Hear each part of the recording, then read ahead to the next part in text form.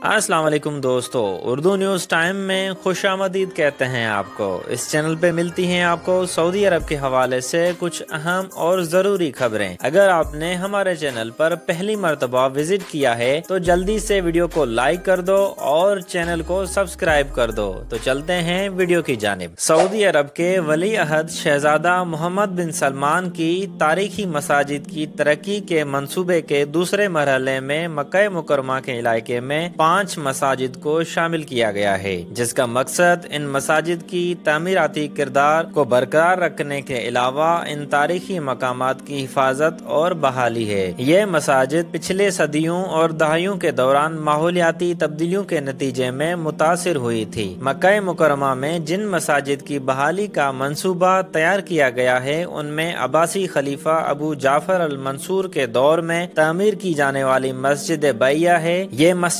शब मिना में जमरा अल अकबा के करीब तामीर की गई थी। वो पहली मस्जिद है जिसे मंसूबे के दूसरे मरहले के दौरान मकई मुकरमा में तरक्की के लिए चुना गया था। उसकी अहमियत उसकी उम्र से ज़ाहिर होती है। ये मस्जिद शाबल अंसार में वाक़ है, जो बैत की जगह है। उसमें बैत के बाद नबी करीम अलैहि ने हिजरत फरमाई थी। बैया मस्जिद को कोहे उकबा के पीछे नज़रों से पोशीदा रखा गया था। यहाँ तक के ये चौदह सौ अट्ठाईस हिजरी में जमरात के तोसी मंसूबे के नतीजे में मकई मुकरमा और मुकदस मकाम निशानात और यादगिरियों का एक हिस्सा बन गई। बहाली के बाद मस्जिद का रकबा पहले जैसा, यानी चार सौ सत्तावन पॉइंट छप्पन मुरबा मीटर रहेगा। इसमें एक वक्त में अड़सठ नमाजियों की गुंजाइश होगी। इस मंसूबे में जद्दा में दो मसाजिद को तैयार करना भी है, जिनमें एक हुरियतुल शाम में अबू अनाबा मस्जिद है, जिस इसकी पहली तमीर 900 साल से ज़्यादा पुरानी है। बहाली से कबल इसका रकबा तीन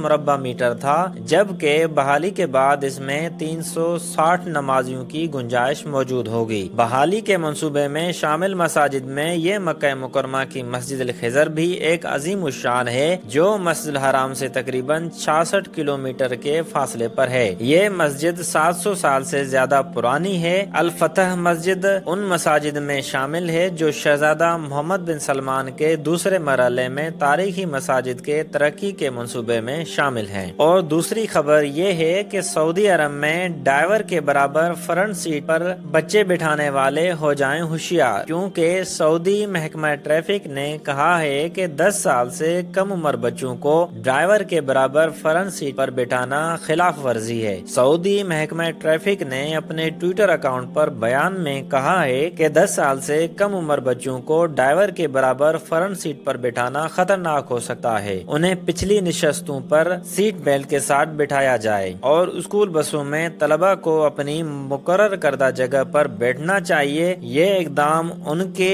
और दूसरों की हिफाजत और सलामती के लिए उठाया गया है। इसके अलावा तीसरी खबर ये है कि सऊदी अरब में 30 जुलाई से शुरू इस्लामी साल के आगाज़ से अब तक दो लाख से ज़्यादा उम्र जायरीन की मदीना मुनवरा एयरपोर्ट पर आमद हुई है। वजारत हज उम्र ने कहा है कि 30 जुलाई से अब तक दो लाख अड़सठ हज़ार पाँच सौ उनतीस फिजाई और उनतीस हज़ार छह सौ नब्बे जमीनी रास्ते से ममलिकत आए हैं। इनमें इंडोनेशिया के उम्र जायरीन की तादाद सबसे ज़्यादा है, जो कि एक लाख सताईस हज़ार सात सौ नब्बे है, जबकि पाकिस्तान दूसरे नंबर पर है, जिनकी तादाद नब्बे हज़ार दो सौ तिरपन है। इंडिया से चौवन हज़ार दो सौ सतासी और इराक से छत्तीस हज़ार चार सौ सतावन, यमन से बाईस हज़ार दो सौ चौबीस, उर्दन से बारह हज़ार नौ सौ साठ उम्र जायरीन पहुँचे हैं। हरमैन शरीफैन की इंतजामिया उम्र जायरीन और मस्जिद नबी की जियारत के लिए आने वालों की खिदमत में बेहतरी के लिए भरपूर काम कर रही है। इसके अलावा खबर है कि सऊदी अरब में इतवार 28 अगस्त से तमाम स्कूलों में नए तलीमी साल का आगाज़ हो चुका है। ममलिकत भर के तैतीस हज़ार पाँच सौ स्कूलों में पचास लाख से ज़्यादा तलबा की वापसी हुई है। याद रहे, सऊदी वजारत तहलीम ने कहा था कि कोरोना पाबंदियों के खात्मे के बाद नए तालीमी साल के दौरान ममलिकत में तमाम निजी और प्राइवेट स्कूल बाकायदा तौर पर खुल जाएँगे। तलबा और इस को हाजिरी देना लाजमी होगी। अब ऑनलाइन तालीम नहीं होगी। वजारत ने ट्विटर पर अपने अकाउंट पर तलबा की तस्वीर तस्वीर शेयर की और लिखा कि ममलिकत के मुख्तलिफ़ रीजन्स में तलबा ने खुशी और संजीदगी के साथ तलीमी साल के पहले दिन की शुरुआत की है। आपके कीमती वक्त का बेहद शुक्रिया। यहाँ तक थी आज की अपडेट। मजीद खबरों के लिए हमारे साथ जुड़े रहिए। तब तक के लिए अल्लाह हाफिज।